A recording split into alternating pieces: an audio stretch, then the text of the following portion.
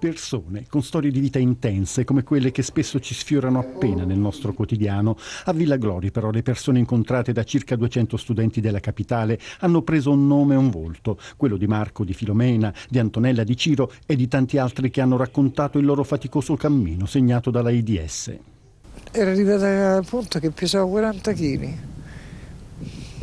non mangiavo più. Ma ci sono senti, andiamo a fare un controllo e, e mio marito è morto e quando è lì hanno detto guarda che gli hanno, gli hanno, gli hanno attaccato, gli attaccato suo marito eh, alla chemo.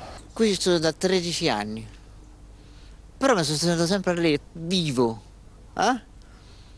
E poi sono arrivato a un punto che il virus è irrilevabile nel sangue. Non, da, non danneggia, vedo? Per i giovani studenti è una lezione di vita che non dimenticheranno.